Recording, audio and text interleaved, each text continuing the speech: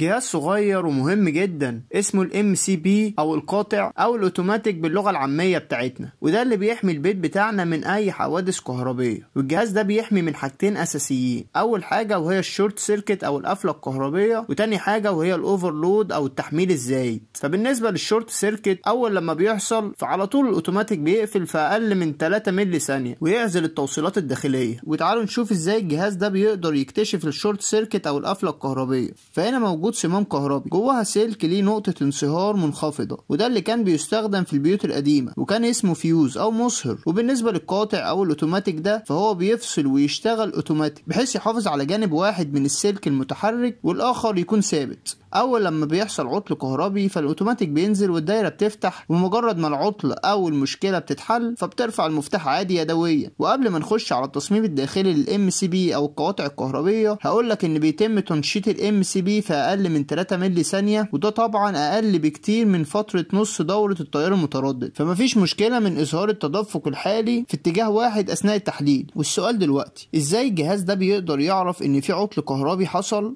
والإجابة هي إن جواه عناصر استشعار. هي اللي بتشغل ال trigger mechanism أو آلية الزناد. وخلونا نشوف دلوقتي إزاي نقدر نصمم آلية التشغيل وتكون في نفس الوقت سريعة جدا. فزي ما إحنا شايفين موجود الرافعة الرئيسية متصلة مع حلقة مستطيلة والحلقة دي متوصلة مع الرافعة المركزية. وبكده السوستتين دول يعتبروا في أرض محايدة.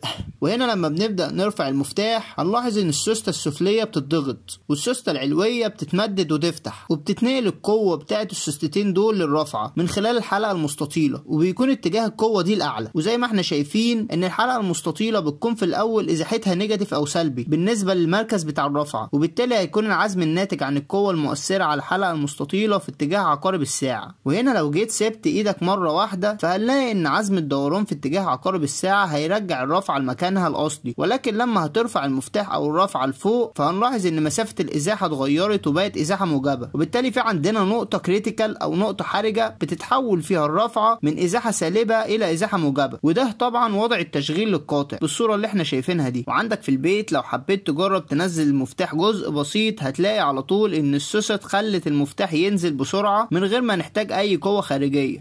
فمثلا المفتاح اللي معانا دلوقتي ده هنرفعه أهو. بص أنا يعني مش هضغط أصلا عشان أنزله أنا بس مجرد ما لحقتش. يعني أنا بس بحركه راح نازل على طول.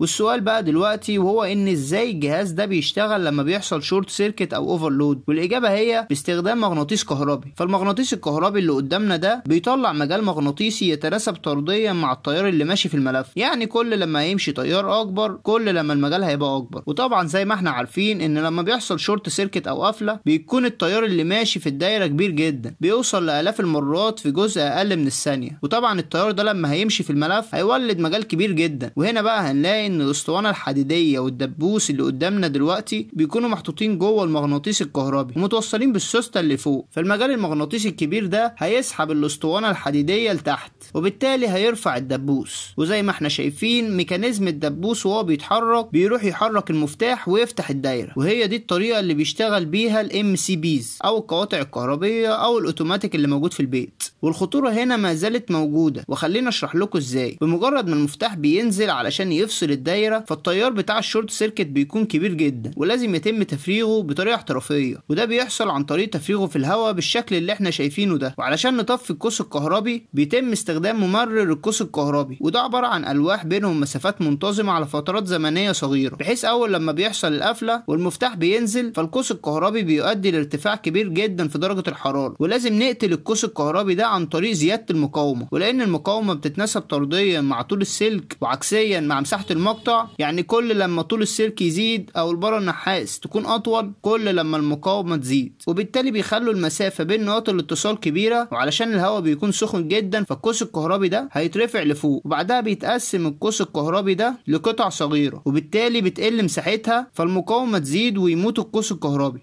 وبالنسبة للأوفرلود أو التحميل الزايد فده بيحصل لما حضرتك بتبدأ تزود الأحمال على الفيشة. يعني مثلا توصل كذا حمل على الفيشة أو على المشترك اللي عندك فتلاقي الأوتوماتيك نزل.